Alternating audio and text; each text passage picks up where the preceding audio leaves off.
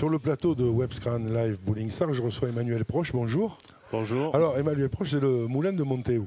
C'est ça. Alors, le moulin de Montéou, c'est de l'huile. C'est pas, C'est pas, de pas la d'olive. farine, hein, c'est de l'huile. C'est de l'huile d'olive. C'est un domaine euh, familial euh, depuis 1934. Et euh, j'ai repris euh, une partie de l'exploitation euh, de mon père, parce que bon, il arrive à 72 ans, donc il est plus près, plus près de la fin que du début. Donc, euh, bon. Et donc, euh, du coup, ben, je fais ça en plus de, de mon boulot pour l'instant. Et euh, C'est- C'est combien d'oliviers, ça? C'est- Pour donner une idée aux gens. c'est un peu plus de 1400 oliviers euh, sur euh, 11 hectares. hein. Et alors, avec 1400 oliviers et 11 hectares, on sort combien d'huile d'olive? Alors tout dépend des années déjà, mais à peu près 1000-1500 litres d'huile euh, par an. Vous imaginez le travail, 11 hectares, 1500 oliviers, et finalement, euh, très peu de produits. L'échelle, est- incroyable. Donc c'est pour ça que c'est un produit qui est de qualité, évidemment, parce que c'est, une olive particulière que vous devez avoir dans le Var.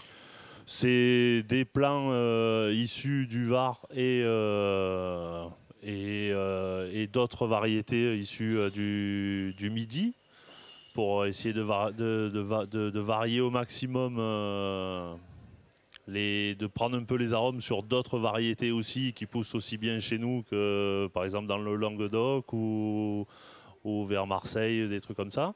Oui, on fait comme avec un maître de chez dans le vin, on fait, euh, On fait des assemblages, on fait des assemblages. Voilà. C'est ce qui rend chaque huile très particulière. c'est ça. Alors, quelle est la particularité de la vôtre d'huile?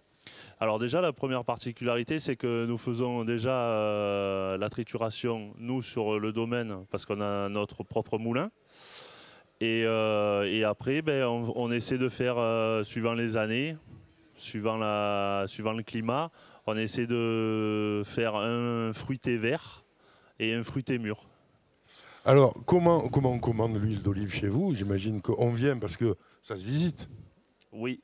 Alors bon, pour l'instant, c'est encore un peu, c'est encore nous pour pour moi, c'est encore tout neuf. Euh, là, ça a été un de mes premiers salons aujourd'hui.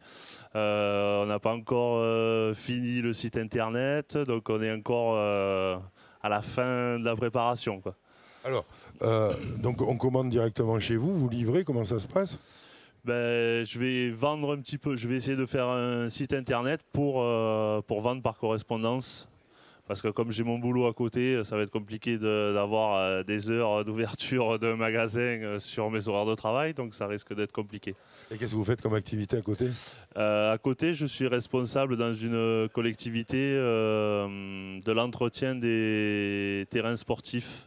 Oui, d'accord. Donc, euh, vous, vous imaginez quelqu'un comme vous qui travaille et qui en plus a une exploitation oléicole, euh, on, on sait que c'est pas facile pour les ventes, etc. Donc ça va être tout par Internet, mais vous livrez dans toute la France. Oui, je vais essayer, je vais essayer de partir là-dessus. ouais. Alors, ça fait combien de bouteilles euh, d'huile, ça? Ben, pour l'instant, je vais, je vais pouvoir le dire euh, quand j'aurai fini de vendre euh, ma première production, en fait. Vous n'avez pas d'estimation, là, aujourd'hui? Pour l'instant, non. Parce que là, C'est la, toute première année là, que j'ai mis en bouteille, donc euh, je vais avoir euh, mon résultat euh, là d'ici quelques mois.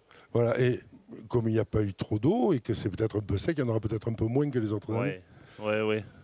Et là, on a essayé de travailler aussi sur, sur du paillage naturel au pied des arbres.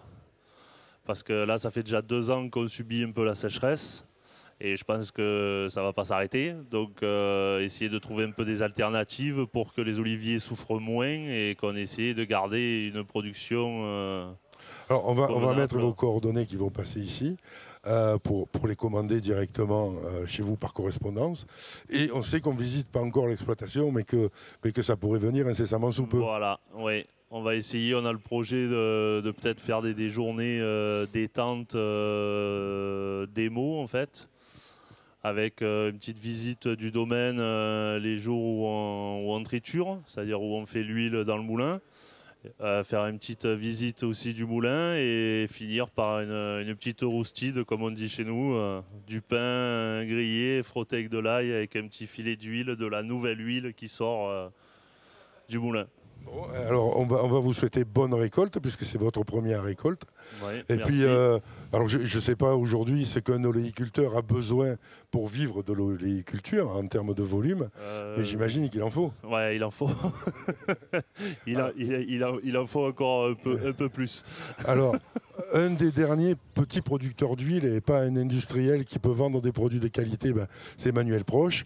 Euh, prenez contact, encore une fois, ici, en, en bas de l'écran, et puis vous pourrez avoir une bonne huile d'olive pour, euh, pour avec des tomates, c'est très bon. euh, Ah, c'est magnifique. c'est magnifique. hein. Merci beaucoup d'être venu. Merci à vous.